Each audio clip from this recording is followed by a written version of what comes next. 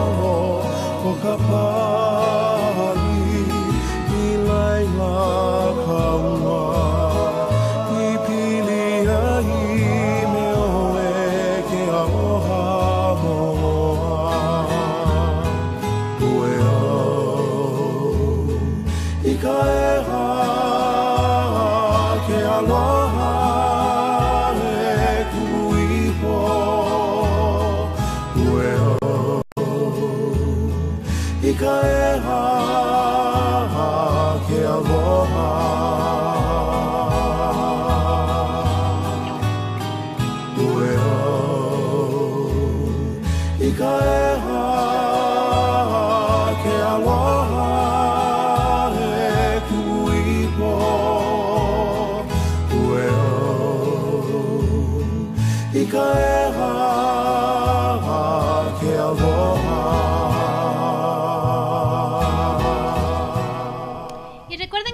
próximamente el quinto Polinesiatlón, organizado por la profesora Elvira Evalani González. Se realizará en las instalaciones del Centro Multidisciplinario Aleph el día 5 de julio.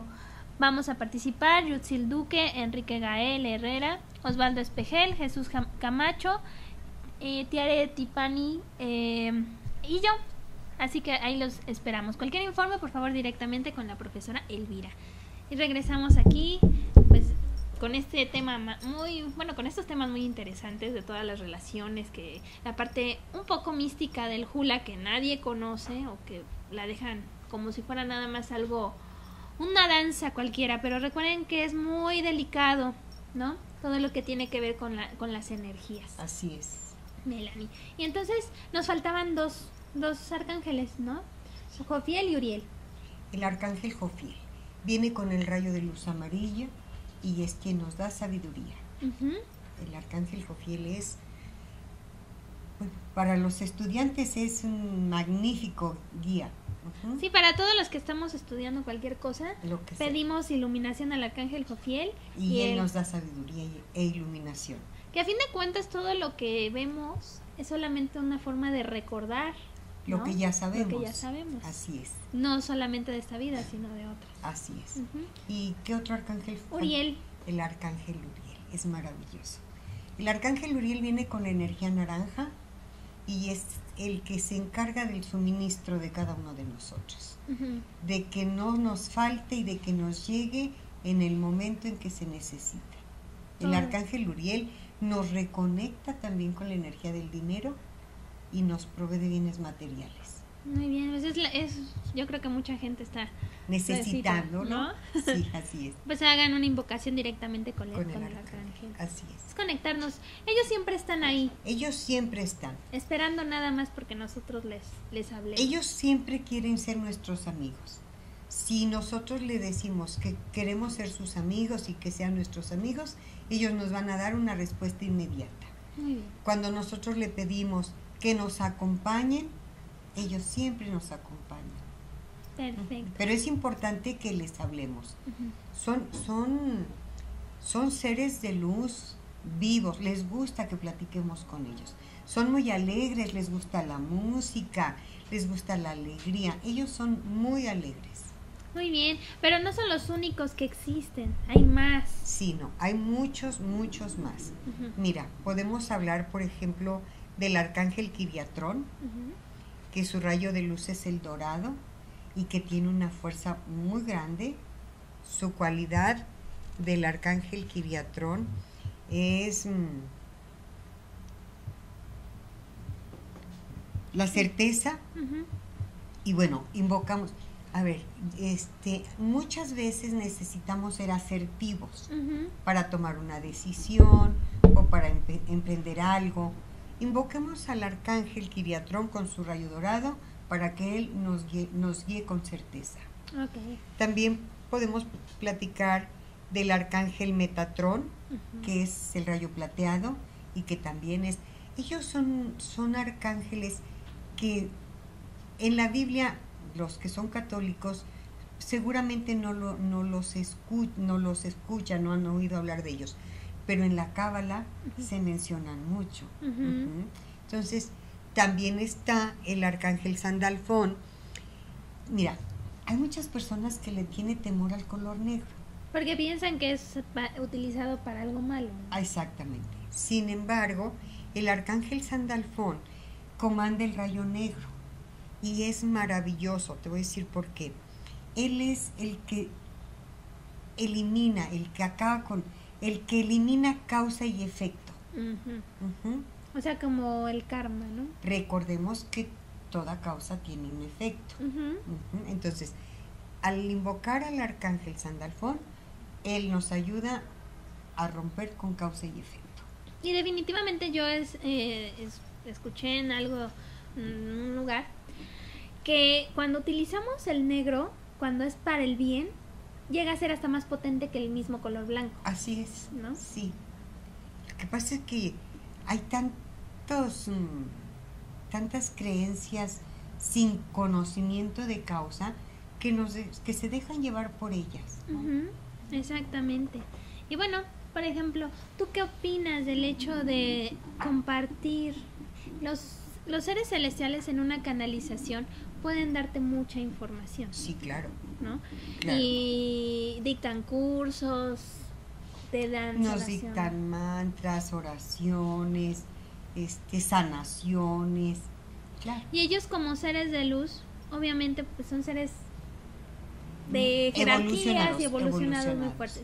Y ellos así comparten lo que son. Así es. Nosotros aquí como como gente terrenal de aquí del planeta, a veces nos volvemos egoístas. Sí, claro. ¿No? La parte de que yo tengo este conocimiento y por qué te voy a dar eh, lo que yo Lo que yo ya sé. Exacto. Cuando, perdón, en el momento en que compartimos nos enriquecemos. Siempre que tú estás dando algo, estás recibiendo algo también. Exacto. Y sabes, uno de los preceptos importantes de toda la cultura polinesia es el compartir. Es muy importante. Es algo que ellos llevan a cabo. ¿Tú qué, tú qué piensas, Fer? Pienso igual que, Melanie, ¿no? Porque muchas veces... Ha habido maestros que te limitan y te dicen esto es mío y por qué lo compartes y por qué lo das. Y digo, sí hay seres evolucionados y la gente que lo comprende, los mismos hawaianos cúmulas como tal, lo saben y ellos no te lo van a reprochar. Ellos te dicen, te dan, sí, llegan a prohibirlo, pero solamente porque hay gente que todavía no, no está preparada, no con el hecho de juzgar, porque ya cuando tú dices, tú no estás preparado, estás juzgando y es una de las primeras cosas que no debemos hacer. Así es.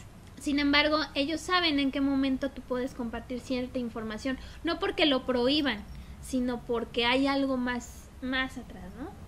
Yo, yo creo que es muy importante que sepamos a, a quién le compartimos con el conocimiento de cuál va a ser el uso que le va a dar a eso que le vamos a compartir. Claro. Así es. Igual en, en lo que nosotros hacemos, eh, es, es el uso que le das a lo que sabes. Eh, no, a veces muchos piensan que pues te quieres hacer millonario, ¿no? Y, y, no es así, tú lo estás haciendo por un bien común, porque la cultura sobreviva, Exacto. ¿sí? porque es la forma en la que eh, está viva y se mantendrá así. Y la pueden preservar. De nada te sirve saber, saber mucho, tener toda la, la sabiduría y el conocimiento que existe si lo quieres solo para ti, porque a final de cuentas el día que tú te vayas, todo eso se va contigo. Así es, por eso es muy importante compartir. Siempre vamos a tener algo que aprender, ¿no? Yo siempre digo, lo poquito que me han dado, es importante compartirlo, que haya alguien más que lo aprenda, que lo lleve a la práctica. Exacto. Bueno, ya vamos a cerrar el, el, bloque, pero antes, Melanie, queremos que compartas. Tú das muchos talleres, das cursos, das sanaciones. ¿En dónde te pueden encontrar? Eh, me pueden encontrar en el Centro Multidisciplinario Alep. Con mucho gusto, ahí eh, podemos verlos. Y en las redes sociales también si te quieren escribir en, sí, como Melanie Yunes. ¿no? Como Melanie Yunes, arroba hotmail.com. Muy bien, pues ahí están los datos y cualquier otro tipo de dato que ustedes requieran, pues también en la página del centro les podemos dar toda la información. El curso del sábado estuvo muy bonito. Gracias. ¿Tú qué, qué sentiste? Yo estuve muy contenta. La verdad es que cuando yo doy taller me lleno de vitalidad, de energía, de alegría. y fue un curso muy bonito. Era gente muy joven, con mucha apertura, muy receptivos. Para mí fue un curso muy bonito. Gracias. Y bueno, Fer, recuérdanos por favor los datos del Gran Seminario Nacuajibi en Lima. 18 y 19 de julio próximos en el CUF de Iztapaluca. Eh, los esperamos sábado y domingo. Eh, cualquier informe que necesiten con la profesora María del Carmen Benchaca eh, a través de las redes sociales o igual a la página del Centro Multidisciplinario ALEF. ¿sí? Y quería agregar algo. el color que porta en el ley Melanie también representa la renovación, un renacimiento. ¿sí?